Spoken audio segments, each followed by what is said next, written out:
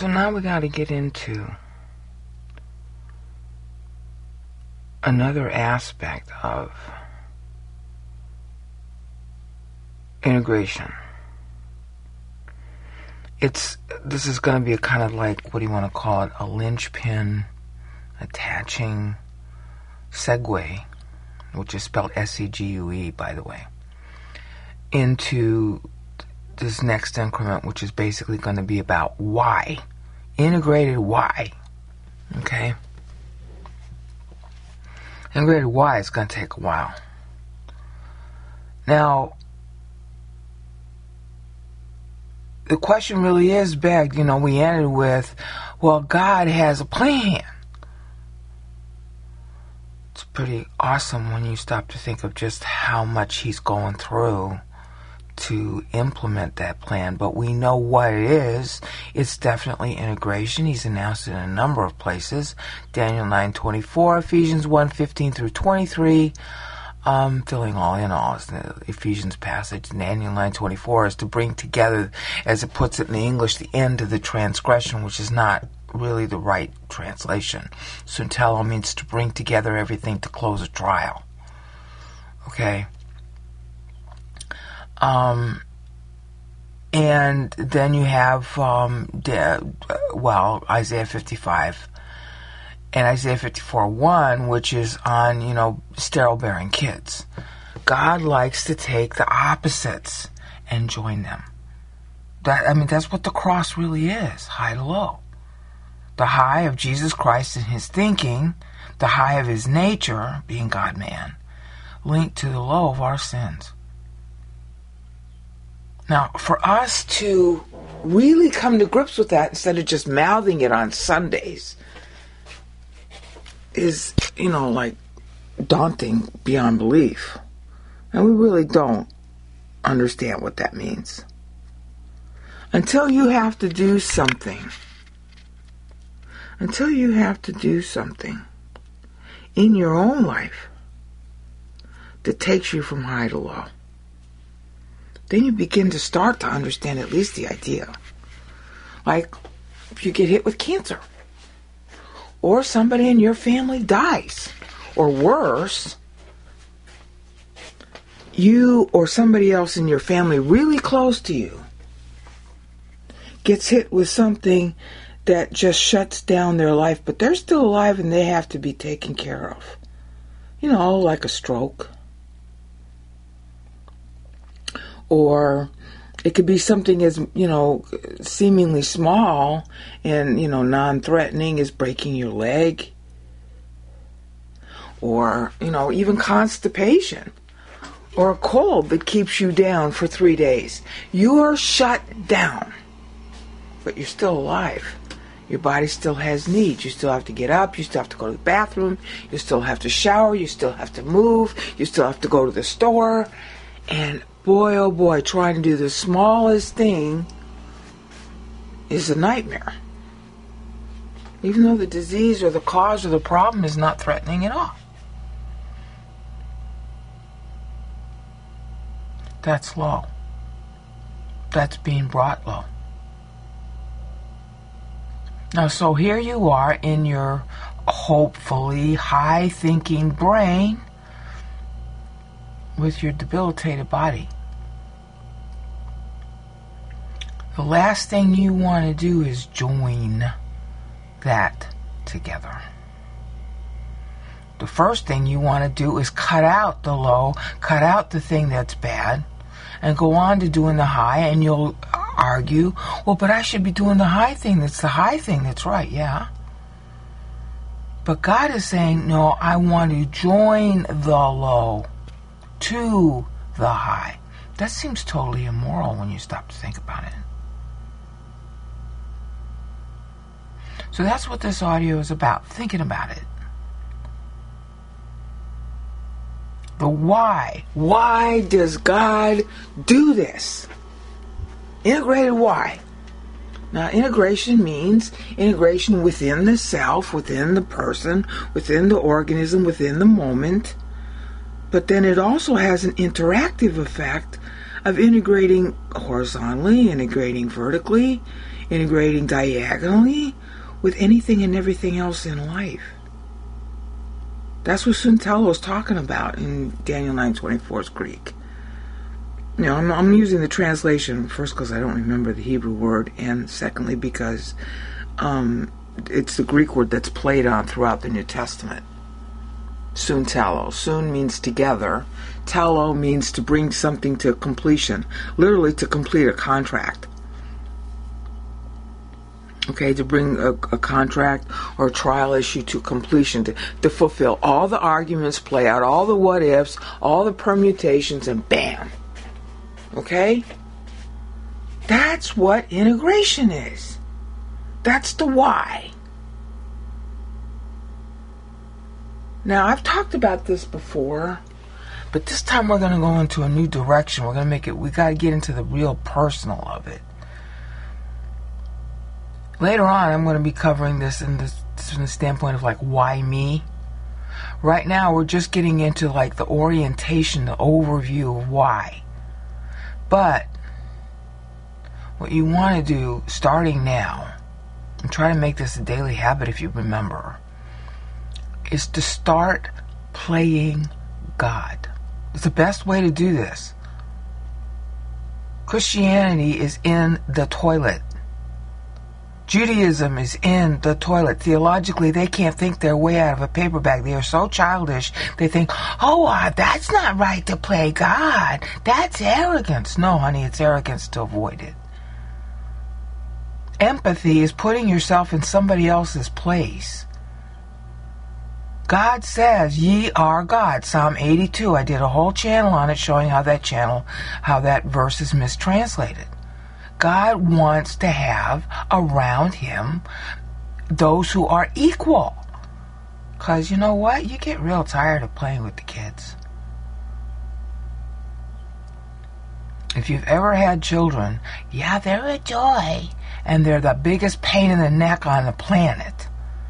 And boy, oh boy, if you can just get away from them for a while and talk to other adults, it would really be nice. God is trying to make us into fit bride. He won't go against volition. So we have this whole eternity of, of progress, never quite getting there. That's what he's working for. That's what the Suntello is, is to get us all ripe for that moment in time when bing, the rapture can occur. And even then we still have to grow. Because you're never going to really be like God but there's a certain kind of thought pattern that has to be forged as a structure like a house or a factory in order for it to, you to be able to turn on the power and have it be running. Hi your house is in some kind of state of construction. That's what the soul is likened to a house. Okay yeah you've built the foundation and you might have put up some of the walls you know. Have you ever seen a house while it's being built? Okay but until it's really built you can't move in so he's getting the house of the bride of Christ, the body of Christ, body house, to a state where we can move into eternity. That's why. Ultimately. Okay, but for your soul to get built where it needs to go, there's a certain thing you got to do called learn and live on Bible daily. Use 1 John 1 9 under your right teacher. And if you're not doing that, honey, you're getting clobbered. And the worst thing that God can do to you is leave you alone. Do nothing. Because He's the only one who can grow you. And if you're so far beyond the pale and so full of your own self righteousness or whatever it is, oh, I'm an atheist now. Oh, I'm I'm a Catholic now. Oh, I'm a this now. Oh, I'm a that now. Whatever it is you call yourself you're so far beyond the pale, he'll just leave you alone and you'll stay retarded. Now, if you're listening to this audio, you're not in that position. You're somewhere in a state of flux. Going down or going up, who knows? God knows. So, in that state of flux, how do you start making it go in the positive direction? Well, learn and live on Bible under your right teacher using 1 John 1 9. That's the basic mechanic for anybody. And technically, it does not matter what denomination you're in, God will grow you out of it. Same for your teacher. So you don't worry about whether your teacher's right. You just worry about whether God wants you under that one. Now, and you can ask him and he'll show you. Within 30 days, honey, he's real direct. If you don't know after 30 days who's your teacher, you've rejected your teacher. Count on it. Use 1 John 1 9, go to God and say, I don't think I, I don't remember what teacher you want me to be under, but I obviously don't like him because 30 days have passed and you haven't made it clear. Well, actually, you have made it clear, but I'm not listening. Okay, what am I not listening to? Do that before he hits you with cancer or something, okay? Because he will. Real big on this. There was a death penalty for not observing the Sabbath. What do you think's going to happen to you? But I digress. Now, back on track, learning and living on Bible, using 1 John 1 9. Okay, but how do you do that? Well, here's one way, among many. But this is a really important way, and it's real hard to do this, but real important. Play God. He says, Ye are gods. John 10 34, and then the Old Testament passage he's quoting is Psalm 82. I did a whole you know channel on that in video in Vimeo well, if I'm, I, then I gotta pretend that I'm God now. See, you know, I mean, if you're gonna become a pianist, you have to practice piano. You're not a pian- pianist when you start out. You're doing da da da da da da da da da over and over and over. So you're not a God starting out now either. But you have to pretend. You have to practice being God in order to grow up so that you're more like God and not so much a child who gets really boring to be around after three or four hours. Mommy, mommy, mommy, mommy. Oh, please, let me sit down for a few minutes. Let the children go away. Go to sleep now. Take a nap now. Hey, give. I really, really want to see another adult. You see? God is tired of us being childish but he's willing to do whatever it takes as a good parent to get us there. And it's going to take all of eternity, and every single day we'll get closer. Okay, but how is the best way to try? Practice being God. We're supposed to be Christ like, right? He's God man. Hello. Okay, so how do you play God? This is really hard when you start to really face it seriously. I don't know what you have to do to get your mind quiet. Do you walk into a bathroom, keep the lights off, and just stand there in the middle of the bathroom? Do you have to go to a hotel room, walk in the park, take a swim? What gets your brain so that you are focused and quiet in your soul, not thinking about all the other garbage you got for today? And you just start talking to God in that quiet state. Okay, Dad, what do I have to learn about being like you? What is it like to be God? See, this is really why he's doing the integration. Fill all in all. Ephesians 1, what was it? 15 through 23. God filling all in all. God filling all his highness into all our lowness. His word in us, circulating in us his thought pattern built as a structure, as a house, as a body, so that by eternity start that structure is something you can move into. Okay, well, he had to be built down here. That's what his whole humanity is about.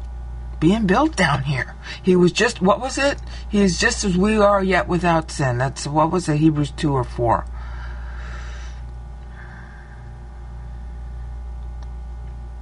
What's it like?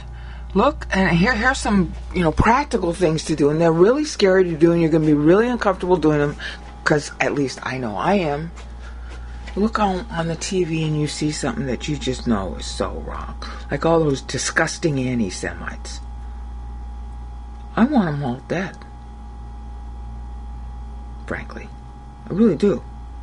If I was around those people in real life and I had a gun in my hand and it was loaded I, I just, it would be almost instinctive to just lift up my arm and shoot them. I wouldn't even think about it. Of course, that's wrong to do. Vengeance is mine, I will repay, says the Lord. He just introduced that. What was it? Leviticus 19:18. I'm standing in my kitchen, okay? He's throwing the thoughts at me while I talk, as usual. It's wrong. Okay, but he's God. Vengeance is mine, I will repay. So, what if it were my job as God to decide whether to shoot those anti Semites? Because there's a contract. As God, I contracted with Abraham that anyone who curses his progeny, I will curse. Well, then it's God's job to curse the anti Semites, isn't it? So if I'm God and I'm seeing those anti-Semites on TV or in the stupid comments to the terrible to the YouTube videos or, or, or beta news or wherever, what if it's my job to wipe them out? I'm God. I made a contract with Abraham. Abraham is in heaven, and he could say, Well, God, all these anti Semites, why are you letting them live? So I'm God. Now it's my job to carry out the very thing that as a mere common or human, I shake my fist at the TV or at the computer reading the comments and I'm and seriously I know in my soul that if I were standing right next to that person with a loaded gun, I would fire. Would be wrong and I'd know that too, but I, I would want to do that, so upset I am. Okay, what if it were my job to fire? See the difference? We get so concerned, we'll call it charitably. We get so concerned about the wrongs and the evils we see in ourselves very little and in everybody else very much. But what if it was your job to actually police that? That's a whole different perspective. And now all of a sudden, I bet if it was your job to actually kill those anti Semites, you would shrink back from it. You wouldn't want to do it. Well, it is your job. That's the kicker. Ye are gods. Whatever He is and has, you share in. We're in Him. How many in Him prepositional phrases are there in the New Testament? I, I didn't count them because it's, it's, phrased in a lot of different ways. You know, so I, how you search it, I guess you search it in the English. You're in Him, bride of Christ, part of Him. We're supposed to rule with Him forever. What was that? Revelation 1 6 and 510.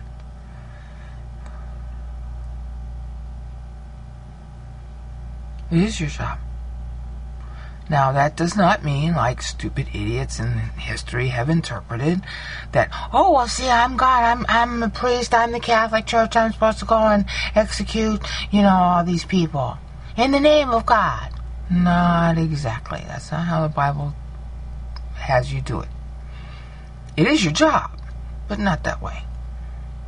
You go to God in prayer. Like, let's say you're one of those vile pro-lifers. Oh, those hussies, they getting away with, with, with getting pregnant out of wedlock, and then they just go have an abortion. And so now they're getting away with having had sex illicitly. Okay, fine. You are so upset about that. Why don't you go to God and ask Him to pop them all on the head? Because that's actually your office as priest. You don't like something, you see something's wrong, then you go to God about it and say, God, I want all those hussies killed. Because they had sex illicitly, and that's against your law. That's actually your job not the right interpretation of your job to go to God and ask Him that particular question, but it is your job to go to God about something you see that you think is wrong.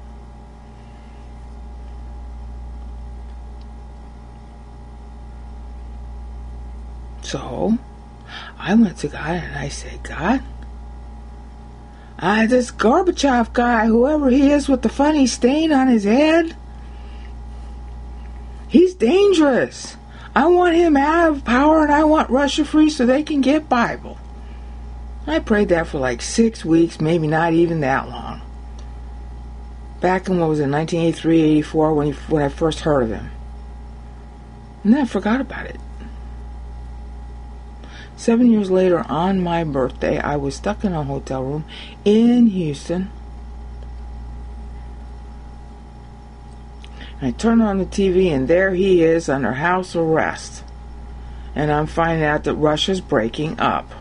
And of course, four months after that, the actual papers of Russia's breakup were signed. It was a Christmas gift. See, it was my job. I didn't like something I saw. It worried me, but I didn't quite know what the answer was. I only knew that, you know what, Russia needs to be free. This guy's, whatever's going on with him, is going to threaten that. I didn't ask for him to be hurt because I didn't, I didn't know that. I, it just didn't enter my mind. And of course, he wasn't hurt. He was freed too.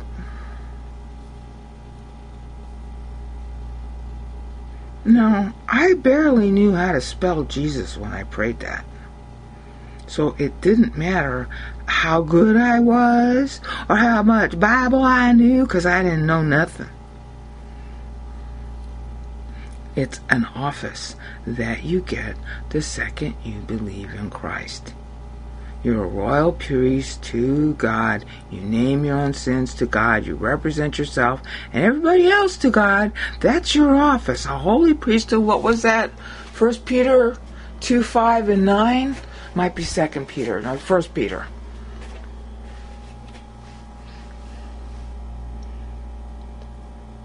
In the Old Testament, you could even not believe that Jesus was the Messiah. And as long as you didn't have crushed testicles, and you were male, obviously, you could you were to, supposed to serve as a priest in one of the many different you know formations of the whole priesthood, because they basically did everything from taxes to, um, you know, taking out the the animal dung. The whole family was in charge of what they called temple service, but that included some of the most banal stuff you can imagine. Okay, well, you know, the t- testicles thing doesn't apply. So it doesn't matter if you're male or female. It doesn't matter if you believe, however, and it doesn't matter if you're a good believer or a bad believer, or in fellowship or out of fellowship. You're a priest until forever. Kind of Melchizedek. Psalm 110. That's the kind of priesthood we got. That's what Hebrews 10 is devoted to explaining.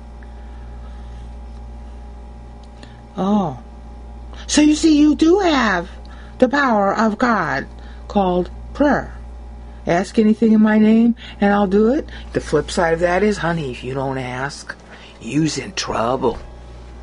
You ain't doing your job. So play God. What if it were my job to kill anti Semites? Who, where do I start? What really is the definition of anti Semite? Going to God in prayer, I can say to God, God, kill the anti Semites. I did ask him to kill bin Laden and Hussein and Gaddafi and Arafat. I don't remember for sure about Arafat, maybe not. They're all dead. Now, if he listens to a prayer, it's not because of you. It's because of what he did for his son to you. And if some guy who doesn't even believe in Christ in the Old Testament happens to be from the tribe of Levi, he didn't cause himself to be of the tribe of Levi. He was born into it, so were you. Different priesthood, different rules. Same idea. You didn't cause it, it was given to you. So playing God is your job. Now, you'll notice it's a very different thing if it's your job. Hi, now I'm looking at all these apostate Christians, all these apostate Jews, and I can't really say that I'm not apostate myself. What do I pray to God for? If I were God, what would I order be done? That's the killer. Think about this. If you're God over whatever you see, and you really are, because you can pray to God that it be done the way you say. Ask anything in my name and I'll do it. Christ said, Thank you, Dad. Okay, so what are you going to ask him?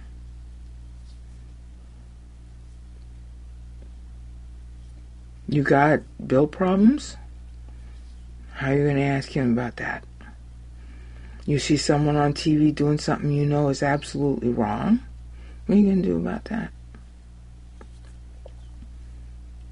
It's almost instinctive now, and once you get in the habit of doing this, you'll see you you'll see the difference in the perspective. Like when I'm driving and there's some car in front of me that starts to skid, okay, or I can tell that there's a, an accident or potential accident getting ready to happen, I immediately just, without even thinking, Dad, please help that person. Whatever it is you want for that person. Because I don't know what God's will is for the accident. Does He want it to occur? Does He not want it to occur? Why? Because I'm learning my job. I can't say whether that person should crash into the other car. I can't say whether God should give me cancer. I don't know enough. But if I got a rule on it as God, the closest thing I can do is say, God, I want your will done. You got all the facts. I don't have all the facts. And I pray that a lot. God, everything you say this prayer is, I absolutely vote for in absolutely all of Christ's names. Amen. I, I gotta be, I don't know, multiple times a day. I pray that. Okay, but the next step is to now look at it from God's point of view. You're God. You have to do something about all these cretins running around, including you yourself, a cretin. What do you do? And then you go to God in prayer because what you're practicing doing when you pray is you're practicing thinking like God.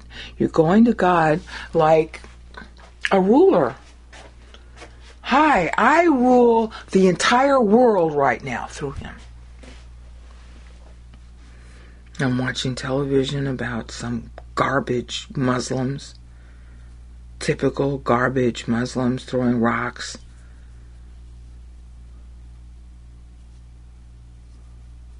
And my gut, as a commoner, wants to just shoot them. But that's not what a God should do. So I go to God and I say, okay, God, I want to shoot these people. It's always good to be honest. That's what 1 John 1 9 essentially is. I want to shoot these people. Whether it would be a sin to shoot them or not, I'm not 100% sure, given the circumstances. Likely it's a sin, but maybe there's some way it's not. Okay, I don't know enough, do I? God, I want to shoot these people, but that might not be the best idea, Dad. So I'm asking you to shoot them. If it's the right thing to do. And then as I'm talking to God about it, getting it off my chest, again, that's why it's like 1 John 9. As I talk to him about that, I, I'm thinking out loud and I'm saying, okay, God, it's not necessarily right to shoot those Palestinian idiots because their souls are just going to depart the body and then you still have to hear them think. So, how is it going to help the situation now or later to shoot them? What's wrong is what's inside their head, not what they're doing with their body. Because they'd be doing something different with their body if what was inside their head was better. Oh. So now I start to behave like God in that I hold back, slow down, do nothing. Because really, seriously, what good is that going to do to shoot them? I'd love to shoot them. If it were up to me and I had, you know, I was able to just act on my impulses immediately, thank God I can't, I would just fly a nuclear bomb over there and I'd drop it on Gaza. I drop it on the West Bank. I drop it on Iran. I drop it on Egypt. I drop it on Libya and Afghanistan and Iraq. See, now all those Arabs are gone. And Indonesia, too. Anywhere Muslims are, I just drop a bomb on all of them. And then they'd be gone. And that solves how? Any problems? See the point? It solves nothing. You can talk all day about, oh, Brayna, you're a terrible person. I don't care, honey. The bigger and better and much more moral issue is what good does that do God? Their souls are going to keep on living. Destroying their bodies is not going to solve that problem. If anything, it makes it worse. Because, see, you got to develop your soul down here before you die. That's the whole objective of even having a body down here. See, I'm playing God now, aren't I? If God gave me a button I could just press, and every time I saw somebody I didn't like, I could just wipe them out of existence. Would I do it? Answer is no, because here's why. Oh, but you made the soul interminable. So if I destroy them off the face of the earth, that doesn't solve the problem. See, Suntello, bringing everything together for completion the soul goes on living. You gotta you gotta try to do something while they're still in this body so that their soul has a chance. And then if they don't, if they won't, if they keep on saying no, well honey, there's eternity and boy oh boy. Then they've done it to themselves. This is why doing nothing is the worst thing God can do to you. The worst punishment anybody suffers is to have nothing happen so they think that they're on the right road. And they are literally destroying themselves before your eyes, but you don't see it until the end. Like all these anti Semites, just let them talk. Don't muzzle them. There's a movement now. It's what's kind of triggering this audio. There's a movement now that apparently some buddy in Israel has gone to Google and said, oh, we want to muzzle all the muzzies on YouTube or selected muzzies who we think their stuff is inflammatory. Don't censor them. Israel, do not do that. God isn't doing it. Don't you? Why? because he's bringing everything together to a completion. And when you leave the pimple alone, it ruins itself. Have you ever noticed that? I don't know. Do you remember when you last had a pimple? Have you ever had a sore or a boil? Sometimes with boils you have to lance them, but generally speaking, the doctor will tell you leave it alone. Let it destroy itself. With a cold, let it run its course. I mean, they, you know, they tell you there's no cure for the common cold. Okay, fine. I haven't had a cold in so long, I really don't know. It's been at least 30, 40 years. 30 years, 40 years. Okay? Leave it alone. Let it be itself. Why? Because it dies faster. Why? Because it shows up its own evil faster? We are all sickened. Sickened. We find Islam completely disgusting once we know what it is. But you can't know what it is if you don't see it in action. Even the Muslims are getting sick of it. People have left Islam by the millions. They can't necessarily leave overtly because there's a law in the Quran that says that anybody who leaves Islam is supposed to be killed by a Muslim. But they're leaving inside in their souls. God knows who those souls are. So why am I going to want all the Muslims killed when they might just be observing Islam because that's the only way to stay alive? See? As God, I would know. But with the powers of God, but not the knowledge of God, I don't know. Now, what is that teaching? If you pray to God for ask anything in my name and I'll do it, playing God, then that's teaching you what it means for God to be God. Empathy. Isn't the whole purpose of being a Christian and wanting to be saved so that you can be with God and know God and see God? Okay, so now what's the closest way for all that to happen? What's it like to be God? Now you're seeing Him through His eyes.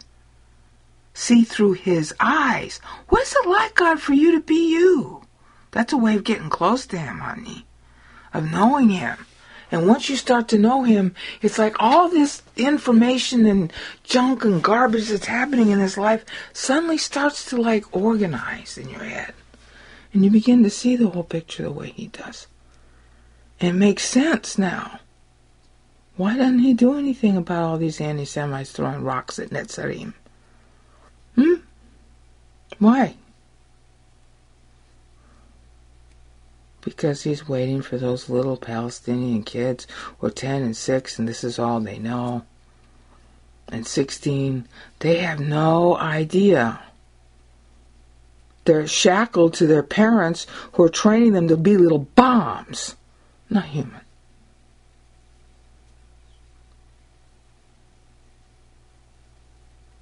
If I just kill them now, then they'll never grow out of it. They might never grow out of it anyway. But do you want to be the one responsible by pulling the trigger? So what do you do? Well, as God, you want to provide every last opportunity without it hurting somebody else. And that's a dicey question. Because every day those stinking Muslims live, they're hurting everybody. Okay, but if you can make good on the hurt, then you don't account it as hurt. Like a woman, like Christ said in the New Testament somewhere, you know, when a woman finally gives birth, she doesn't remember her labor pains. In other words, if you're getting something for it, you don't account the pain as pain. He learned through what he suffered. Okay, he learned through what he suffered. He just threw that at me. That's um, what was it? Hebrews five, eight, and nine. Ematen nepaten in Greek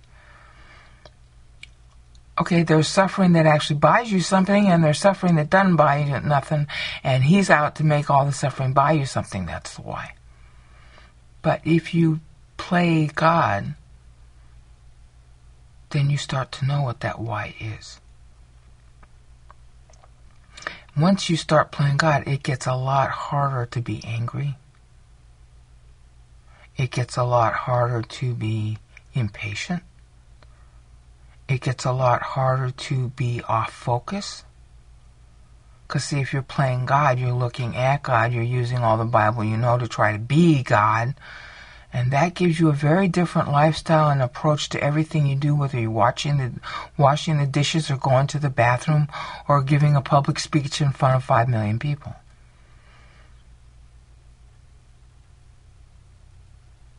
It's like being an actor. What if you have to play God as an actor? Take that approach. What would you be thinking? What would be inside your head? You can snap your fingers, aka pray.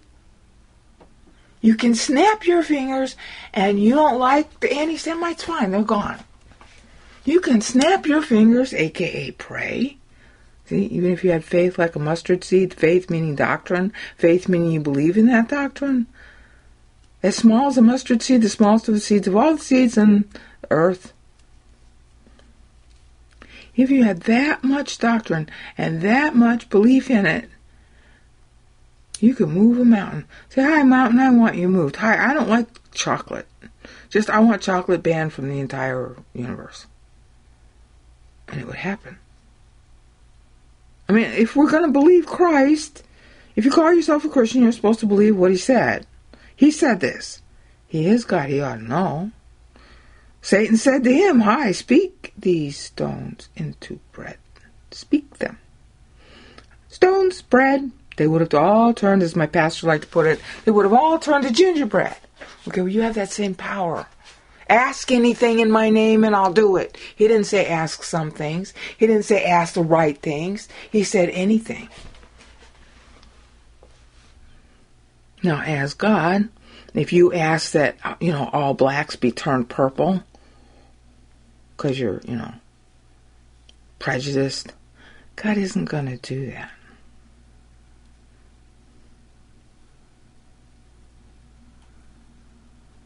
But he'll do something. See, ask anything in my name and I'll do it. That means every kind of prayer you ask, he's going to answer. But the answer can be no. The answer can be, okay, I'll turn you purple instead. Like that famous Twilight Zone episode with Theodore Bikel, who was rant, rant, rant about all the evil people in the world. At four o'clock, they're all going to be four feet high. So at four o'clock, he was four feet high. You have the power of God. And the, one of the reasons to have the power of God is so that you can learn what it's like to be God. So now, when you leave, you know, I'm ending this now. You are going to go do whatever you do. Go to the bathroom, drive your car, finish your workout. Pretend you're God doing that. Seriously, pretend. You can snap your fingers and ask anything in His name. What are you going to ask? If you could zap anything, snap your fingers and it'll be done. What would you do? Think about that every day because your future is supposed to be that. Exactly that. As a king, you're going to snap your fingers and you're going to have minions doing your job. And they will account themselves grateful that they get to even be your minions because you got more doctrine than they do. And they're actually hanging around you because God put them there. And He put them there so they can get more doctrine dripping from your lips. Oh, honey, I hate this future more than I can tell you. But you see why it's a good one? So pretend you're God, because someday, to some people, you will be.